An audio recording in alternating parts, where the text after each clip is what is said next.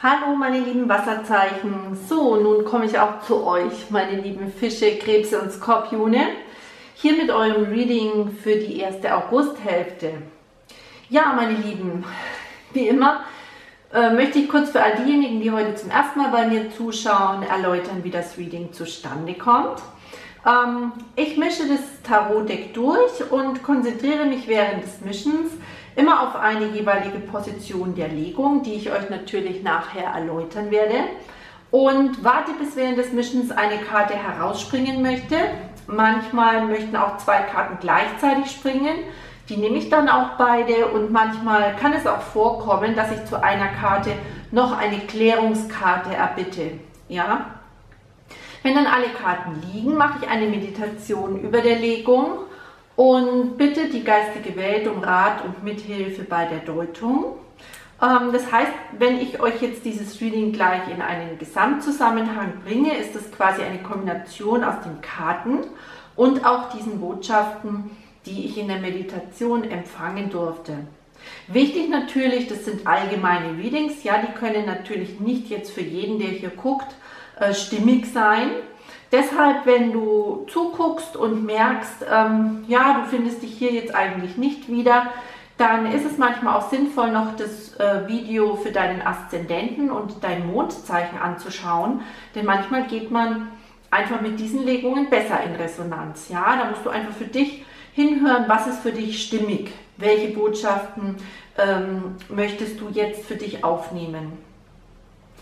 Ja, meine Lieben, dann äh, würde ich sagen, ich lege auch gleich mal los. Und es war nicht so einfach, dieses Reading, weil sich die Energien während des Readings quasi, also man könnte fast sagen im Verlauf dieser zwei Augustwochen, doch einigermaßen verändert haben. Und deshalb ähm, hoffe ich, dass ich es euch einigermaßen verständlich rüberbringen kann, was eventuell geschehen könnte in der Zeit, ja. Aber wie gesagt, bitte immer wieder bedenken, bei den allgemeinen Readings können die Energien, müssen aber nicht auf dich zutreffen. Gut, wir beginnen hier mit der Gesamtenergie. Eigentlich hatte ich nur um eine Karte gebeten, es wollten aber zwei Karten gleichzeitig rausspringen und die waren schon mal sehr positiv, ja. Du siehst hier das Ass der Münzen und die große Arcana-Karte, die Mäßigkeit am Anfang, wenn ich jetzt über diese beiden Karten sprechen würde, ohne dass du dieses gesamte Reading kennst, ja, dann würde ich dir sagen, ja, das Ass der Münzen steht im Prinzip zum einen für materielle Sicherheit, ja, für finanzielle Stabilität, vielleicht auch für Karriere, Chancen, für ähm, Erfolg im Beruf. Ja, Münzen ist ja immer, die Münzenergie ist immer etwas Materielles, steht aber insgesamt natürlich auch für einen Glücksfall, ja, irgendetwas, was dir passiert, was, was sich für dich sehr zum Positiven entwickelt, für eine Chance, dein Glück zu finden oder zu machen. Ja, also insgesamt eine sehr, sehr positive Karte. Und zusammen mit der Mäßigkeit nehme ich eigentlich sofort wahr, dass es hier darum geht, ähm, auf die göttliche Führung zu vertrauen. Ja, dass es hier darum geht, in deine innere Balance zu kommen. Du siehst ja hier diesen Engel, der ähm, das Wasser von einem Kelch in den anderen schüttet. Ja, hier geht es darum, Balance zu finden. Und im Gesamtzusammenhang ähm, bedeuten diese Karten eigentlich eine sehr, sehr positive Energie für diese zwei Wochen. Ich möchte aber dann wenn ich das ganze Reading dir erläutert habe, noch einmal hierauf zu sprechen kommen, weil mir erst im Nachhinein bewusst wurde, was die Karten aber auch bedeuten hier. Okay? An dieser Position frage ich immer, aus welcher Energie kommst du? Also wie hast du dich gefühlt jetzt in der letzten Zeit? Und da fiel auch eine sehr positive Karte, nämlich die neun Kelche.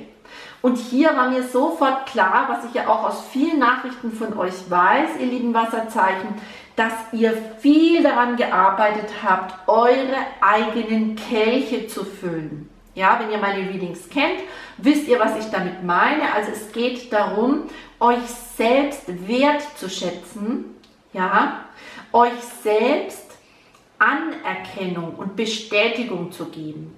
Dieser Mann, der hier sitzt, ja, mit seinen aufgereihten Kelchen hinter sich, ist absolut stolz auf das, was er geschaffen hat. Er reibt seine gefüllten Kelche hier auf. Und es ist wundervoll, ja, wenn du aus dieser Energie kommst, weil es zeigt einfach, dass du unglaublich viel an deiner Selbstwertschätzung gearbeitet hast. Viele Wasserzeichen taten sich ja da am Jahresanfang schwer damit, ja, und haben ganz große Fortschritte gemacht mit der Eigenliebe, mit diesen Grenzen setzen, dass sie genau wissen, was möchten sie noch erleben und vor allem, was möchten sie nicht mehr erleben. Ja, also eine wundervolle Energie, aus der du kommst. Und es geht genauso gut weiter, weil an der Stelle hier, ich zeige euch das noch mal ein bisschen näher, äh, frage ich, in welcher Energie befindest du dich jetzt vielleicht zu dem Zeitpunkt, zu dem du das äh, Video guckst und da fällt die hohe Priesterin. Wieder eine große Arcana-Karte, ja, passt auch sehr schön zur Mäßigkeit. Ist eine der spirituellsten Karten des gesamten Tarots. Und die hohe Priesterin steht sinnbildlich für Intuition, ja, für die Anbindung an seine innere Stimme.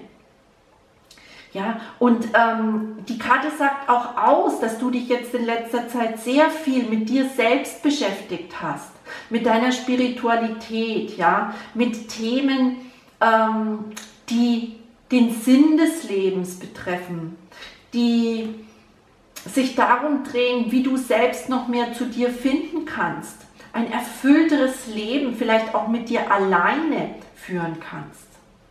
Ja? Also eine ganz tolle Energie. Letztendlich sagt die Karte an der Stelle auch aus, dass du deinen Vorahnungen trauen kannst.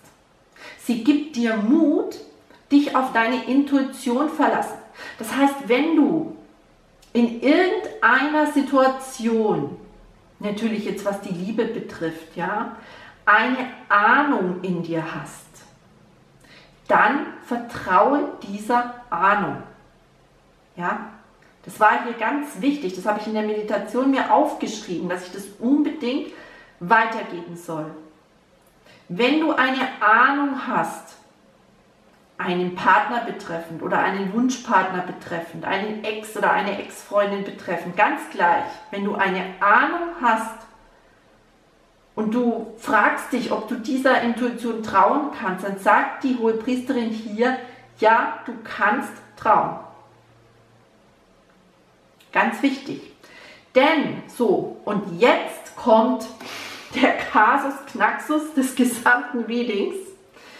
Ich frage an der Stelle, wie entwickelt sich die Energie weiter? Und schau mal, direkt nach der Hohepriesterin kommt der Turm. Weitere Karte aus der großen Arkana, schon die dritte, ja. Ich spüre dazu, dass etwas geschehen könnte in diesen zwei Wochen, Ihr wisst, die geistige Welt kennt keine lineare Zeit. Ja? Das könnte also rein theoretisch auch schon geschehen sein oder es ereignet sich erst Ende August. Ja? Wir können immer nur grob den Zeitraum einfach eingrenzen. Es kann etwas geschehen. Du hattest vielleicht bereits eine Vorahnung, was dich in irgendeiner Art und Weise erschüttert. Auch dieses Wort habe ich mir aufgeschrieben. Erschüttert.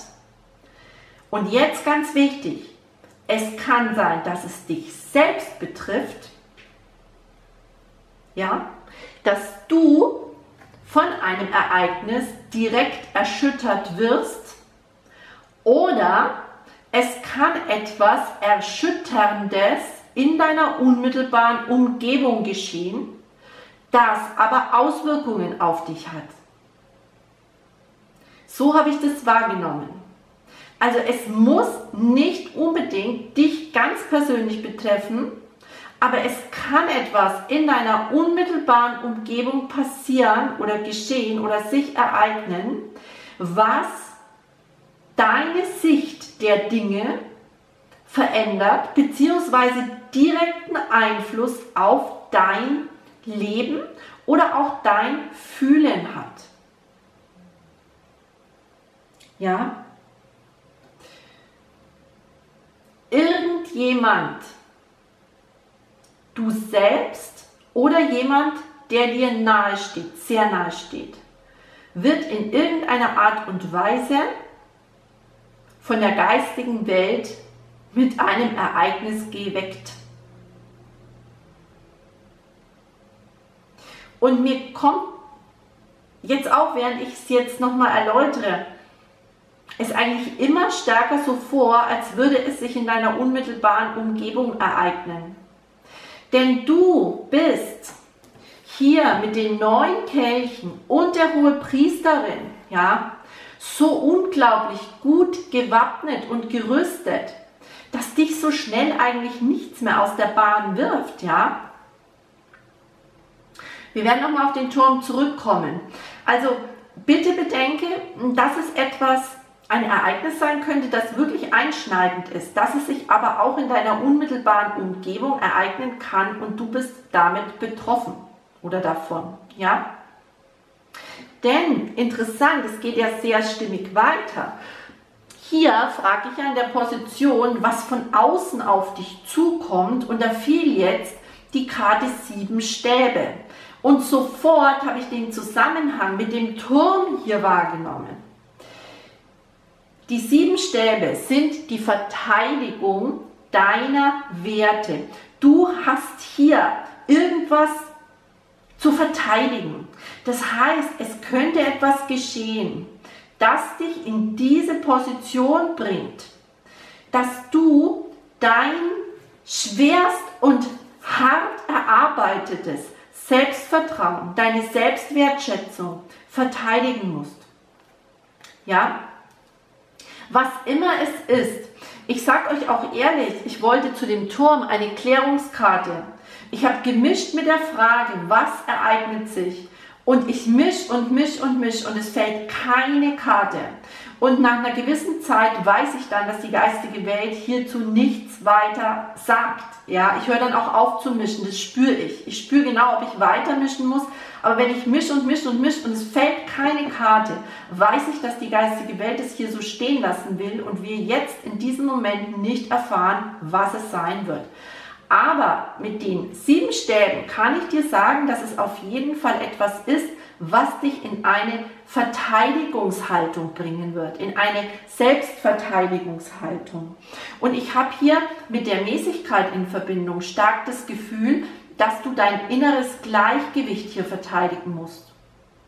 Die Wasserzeichen sind so stolz auf das, was sie sich erarbeitet haben, ja, auch auf diese emotionale Unabhängigkeit, die jetzt viele erreicht haben, ja. Und hier wird irgendetwas geschehen, was dich aufruft dazu, dieses Gleichgewicht, diese Balance, die du dir so hart erarbeitet hast, nicht aufzugeben. Und dazu passt auch wundervoll diese Karte hier, weil ich frage ja hier nach deinen Hoffnungen und Ängsten. Und hier fällt wieder eine große Arcana-Karte, nämlich das Gericht. Das heißt, du hoffst ganz klar in dieser Balance zu bleiben. Denn das Gericht steht ja immer für die Erlösung vom Leid. Ja, das ist die Auferstehungskarte, wie ich sie gerne nenne. Du siehst hier diesen Auferstehungsengel. Ja, ähm, da geht es darum, eine leidvolle Phase hinter sich zu lassen. Und genau das ist deine Hoffnung. Also vielleicht kommt hier tatsächlich auch noch mal jemand aus deiner Vergangenheit zurück, sogar vielleicht mit Karacho in dein Leben, ja, weil er oder sie ähm, ja, mir kommt gerade einfach diese Szene. Eventuell hattest du jemanden losgelassen, ja, weil du dachtest, ähm, das macht keinen Sinn, an jemanden festzuhalten. Das ist jetzt nur ein Gedanke, der mir kommt und den will ich euch einfach gerne erläutern, ja. Und plötzlich steht der mit dem Koffer vor deiner Tür oder sie, ja, weil, weil er oder sie sich vielleicht Hals über Kopf getrennt hat. Und es geht jetzt darum, dass du dir denkst, um Gottes Willen, hoffentlich mache ich jetzt nichts verkehrt, lass den Menschen wieder in mein Herz, ja, und dann beginnt alles von vorne, denn, und jetzt wird es wirklich, ähm, ja, unschön, möchte ich fast sagen, weil das Reading hat so ganz toll begonnen, aber schau mal, die Energie, ja, die für dich Mitte des Monats bereitsteht, da fiel als allererste Karte und zunächst nur die, fielen die fünf Kelche. Und die fünf Kelche ist die Karte für Trauer. Das heißt, man betrauert etwas, ja? Dieser Mann hier betrauert diese drei Kelche vor ihm, die liegen auf dem Boden, ja, die sind ausgelaufen, da ist nichts mehr drin, darüber trauert er. Aber was er nicht sieht und momentan auch nicht sehen möchte, ist, dass hier hinter ihm noch zwei Kelche aufrecht und gefüllt stehen. Ja, jetzt dachte ich mir, gut, hm, ich erbitte eine Klärungskarte, liebes Tarot, worüber wir jetzt trauern, weil hier sind ja die neuen Kelche alle noch gefüllt. Und dann kam die acht Schwerter als Klärungskarte. Die Karte schlechthin für Gefangensein in einer Situation, die wir so nicht möchten. Also, um das jetzt so gut es geht, ich hoffe, ich kann es einigermaßen verständlich rüberbringen, in einen Gesamtzusammenhang zu bringen. Es könnte für einige von euch so sein, dass ihr eine Stabilität, die ihr euch hart erarbeitet habt, ja, indem ihr vielleicht euch von jemandem zurückgezogen habt, der euch nicht gut tat. Dass diese Stabilität droht, wieder in den Verlust zu gehen, ja, weil vielleicht irgendetwas im Außen passiert, was euch aus der Balance bringt. Und ihr habt ganz große Hoffnung darauf, dass das nicht alles wieder von vorne beginnt dass nicht eure mühsam erarbeitete Unabhängigkeit und euer gut mit euch selbst zurechtkommen, euer Gefühl von Freiheit, dass das wieder verloren geht. Ja, ihr hofft hier auch auf göttlichen Schutz und schaut mal, ihr habt mit der Mäßigkeit und dem Gericht zwei unglaublich starke Schutzengel an eurer Seite. Und deshalb, und jetzt komme ich zurück zu der Gesamtenergie, sagt die Mäßigkeit hier ganz klar, Gott kennt den Plan. Bleibe gelassen. Auch wenn du dich einen Moment lang wieder so fühlen solltest, nochmal einen Rückschritt machst, weil vielleicht etwas, was du dir ursprünglich mal erhofft hast, nicht eingetreten ist. Ja? Weil du vielleicht tatsächlich wieder aus deiner Balance gefallen bist. Lass dich nicht entmutigen, sondern schau, dreh dich um, sieh die Kelche, die noch aufrecht stehen, ja, und löse deine Fesseln. Du kannst es. Du brauchst dich hier nicht wieder gefangen halten in negativer Energie. Ja, das kommt mir hier auch ganz stark. Und die geistige Welt, haltet euch fest, die bringt hier den Ritter der Schwerter. Und wisst ihr, was der macht? Der schneidet diese, dieses Tau und diese Augenbinde, schneidet er euch höchstpersönlich auf. Die geistige Welt, die hier mit der Hohepriesterin, der Mäßigkeit und dem Gericht ganz stark vertreten ist, ja, sagt, nein, egal was passiert, ganz gleich was passiert, du wirst deine hart erkämpfte Freiheit und Selbstwertschätzung nicht mehr verlieren. Wir, also deine geistigen Helfer, erheben das Schwert für dich und befreien dich, falls du dich nochmal gefangen fühlen solltest, ja, in einer Energie, die dir nicht gut tut. Und jetzt komme ich nochmal auf das Ass der Münzen zurück. Ja, ich habe ja vorhin gesagt, dass das auch für Glücksfälle, äh, für glückliche Wendungen liegt. Wenn du nämlich dir von der geistigen Welt hier helfen lässt, ja, und erkennst, ganz gleich was hier geschehen ist, dass du über dieses Stadium, also das heißt hängen bleiben in negativer Energie, Betrauern, Verlustdenken, Mangeldenken, ja, Unfähigkeit zu handeln, dass du spürst, dass du über diese Energie hinausgewachsen bist und mit der geistigen Welt zusammen dein Schwert erhebst, um dich sofort wieder zu befreien. Ja? Dann nämlich bist du wieder in deiner Balance und bereit, und zwar so bereit, wie du nur sein kannst, zwei, und ich sage zwei, meine Lieben, Assen zu empfangen. Denn schau mal, was an der Unterseite des Decks lag. Das Ass der Kelche. Im Klartext, meine Lieben, ja, was immer hier geschehen wird, führt einzig und allein dazu, dass du noch stärker wirst, noch mehr in deine Kraft kommst, dass sich das Szenario, was immer es ist, wie gesagt, die geistige Welt wollte uns hier leider keinen weiteren Hinweis darauf geben, was passiert, aber jedenfalls ist es etwas, was dich einen Moment lang aus der Bahn wirft. Ja, dass dieses Ereignis sich im Endeffekt, im Endeffekt als Glücksfall herausstellen wird.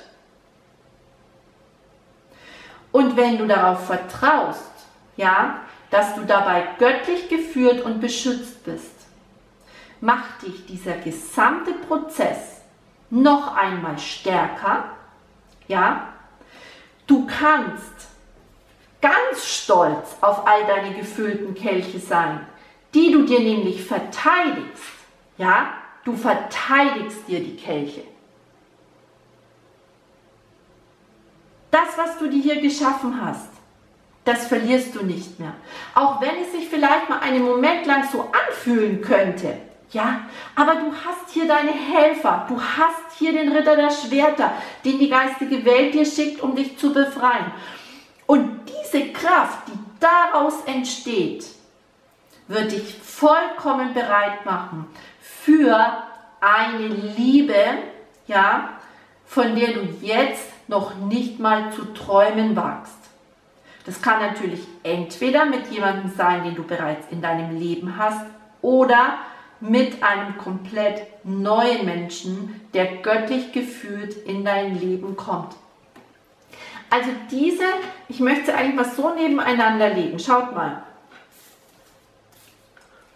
Diese Karten, die hohe Priesterin, das Ass der Münzen die Mäßigkeit, des Ast der Kelche und das Gericht, ja, die versprechen dir eigentlich, dass sich alles zum Guten für dich wendet, dass du nicht verzagen darfst angesichts eines erschütternden Ereignisses.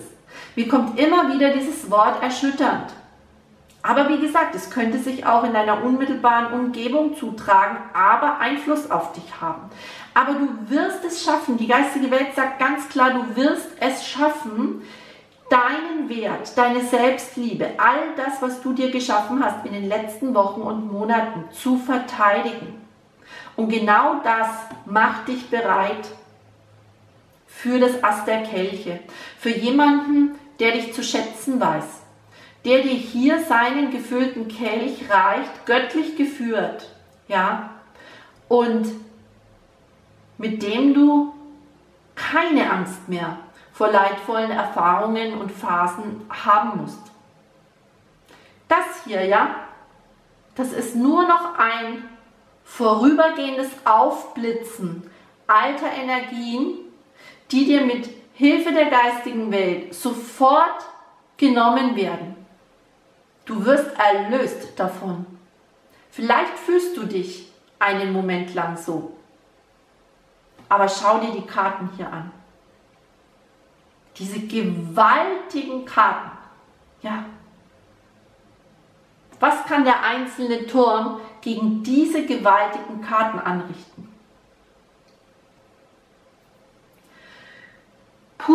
Meine Lieben, ich muss euch sagen, ich bin jetzt energetisch platt. Diese drei Readings hintereinander, das war jetzt wirklich anstrengend, aber ich war, ja, ihr kennt mich, ich bin da einfach in meinem Element, ja. Ich habe da wieder Herz und Seele reingelegt und hatte so ein gutes Gefühl bei den Energien. Es waren starke Energien am Werk, ihr habt es gemerkt, ja, also unglaublich die Readings jetzt für August. Also das scheint ein, ein äh, wirklich hochenergetischer Monat zu werden. Ich freue mich, wenn ihr kommentiert. Ja, bitte macht es unter das Video und auch unter Facebook. Ich habe es vorhin schon erläutert, wer sich angehört hat, bitte momentan keine persönlichen Readings anfragen. Ich kann erst wieder in zwei Wochen überhaupt Anfragen ähm, Anfragen beantworten. Ja, bis dahin bin ich komplett ausgebucht und mache dann auch noch zwei Tage Urlaub. Ja, ich hoffe, ihr gesteht mir das zu mit meinem Sohn, der ja jetzt auch Ferien hat seit diesem Wochenende. Ich möchte einfach wenigstens am Tag so ein bisschen Zeit mit ihm verbringen. Aber ab Mitte August dann ähm, stürze ich mich natürlich wieder voll für euch in die Arbeit und äh, freue mich natürlich ja über eure zahlreichen Anfragen. Ich bin da immer ganz ähm, gerührt, ja Finde ich, finde ich einfach wunderschön. Ich bedanke mich für eure Likes, natürlich auch, wenn ihr meinen Kanal abonniert. Und dann würde ich sagen, wir hören uns auf jeden Fall wieder zum kommenden Vollmond. Der ist, glaube ich, am 7. August. Ja, da mache ich natürlich zwei, drei Tage vorher ein Vollmond-Reading für euch. Ja, meine Lieben, dann wünsche ich euch noch einen schönen Sommerabend heute und verbleibe bis bald. Eure Uli. Tschüss.